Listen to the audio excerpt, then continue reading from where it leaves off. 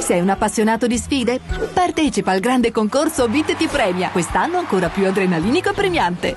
Compra Vit Salva Spesa, Vit Mister 500 e i tovaglioli Vit Super Boom. Puoi vincere ogni settimana un buono dal valore di 500 euro e una vittoriosa auto ibrida in estrazione finale.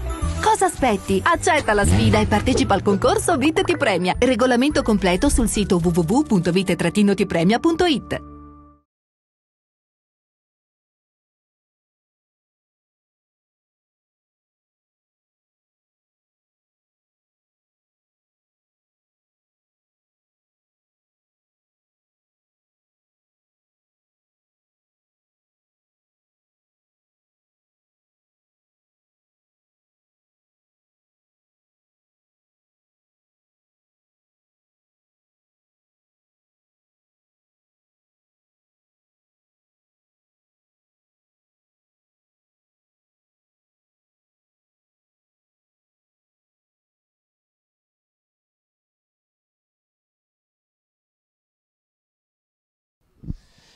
Mister Ferullo, una giornata storta per il Costa d'Amalfi, ci si mette anche l'arbitro, però al di là dell'arbitro avete incontrato una squadra sgorbutica che ha sfruttato le occasioni che gli sono capitate, mentre il Costa d'Amalfi rispetto alle altre volte, a mio parere, non ha funzionato il centrocampo.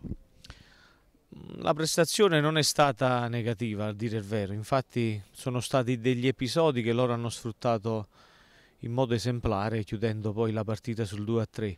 Sono ripartiti bene su due o tre occasioni che gli abbiamo creati noi con palla a noi.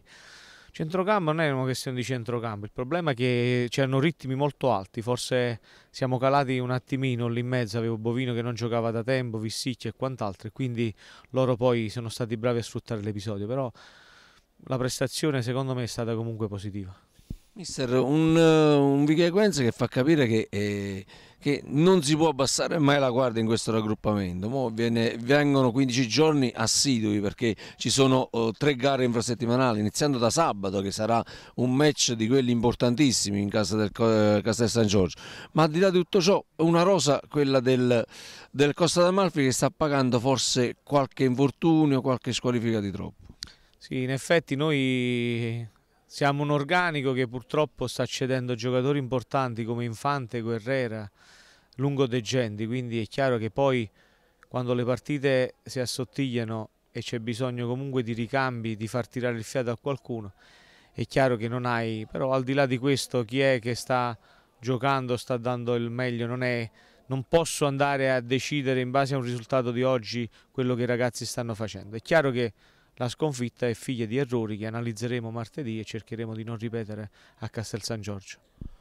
Squadre che entrano nell'otto dei playoff, squadre che escono. Il Grotta pareggiando in casa della Virtus Avellino diciamo, si è allontanato un pochino, però prepotentemente viene alla ribalta il Buccino. Non la scopriamo noi perché sappiamo che è un fior di squadra, ha un allenatore importante. Può essere la sorpresa del girone di ritorno. Sorpresa non direi perché anche comunque nel girone d'andata ha tenuto fede a quelli che sono gli investimenti fatti dal Presidente. Forse si sono quadrati di più, qualcosa hanno fatto a dicembre, rivoluzionando una rosa e secondo me fortificandola. Hanno messo sulla panchina una persona esperta come Pietro Pinto, quindi penso che il risultato è la conseguenza di tutti questi fattori. Ultima domanda, Castel San Giorgio.